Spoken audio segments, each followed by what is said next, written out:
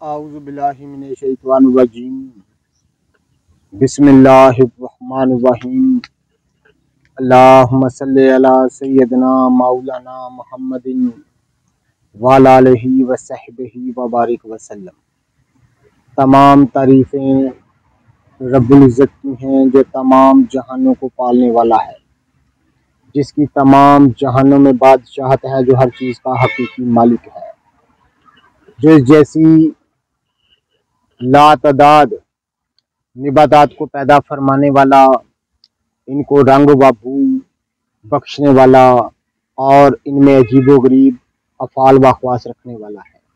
मैं हूँ हकीम आमिर शहजाद दस्का पाकिस्तान से।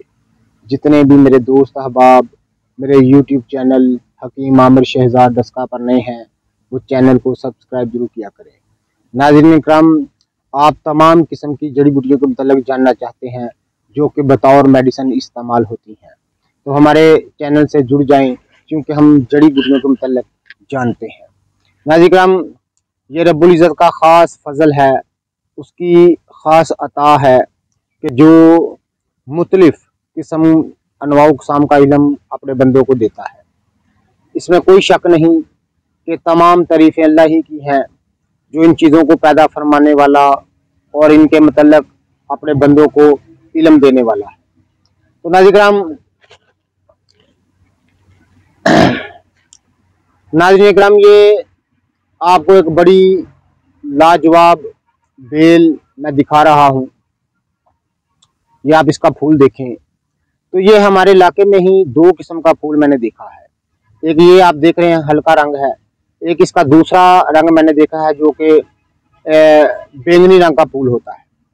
ये दो किस्म की मैंने देखी है। ये हल्का, बिल्कुल हल्का नीला सा रंग है। ये आप देख रहे हैं फूल का।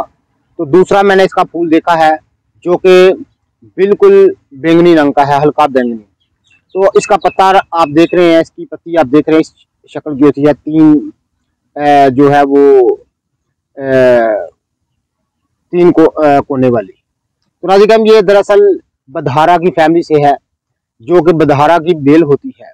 उसी फैमिली से है। उसी तरह इसके जो फाल वाकवास हैं, जिस तरह के बधारा के होते हैं।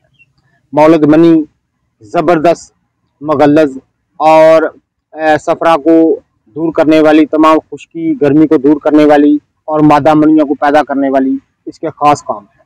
ये बेल आपको कहीं भी दिखे तो नाजिक्रम इसको छोड़िएगा मत। इसकी जड़ जो है, ये वही काम करती है जो कि बदहारा के फ़ायदे हैं। तो मैं ख़ास इन चीज़ों के मतलब आपकी खिदमत में अर्ज़ करता रहता हूँ। जितने भी मेरे दोस्त अहबाब मेरी वीडियो को पजीराई देते हैं, उनका बहुत बहुत शुक्रिया नाजिराम ये कि मैं ख़ास बेल आपको दिखा रहा हूँ, जो कि मौसम बरसात में पैदा होती है।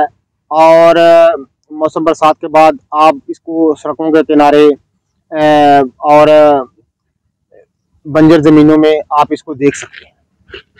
बड़ी खूबसूरत इसका फूल होता है।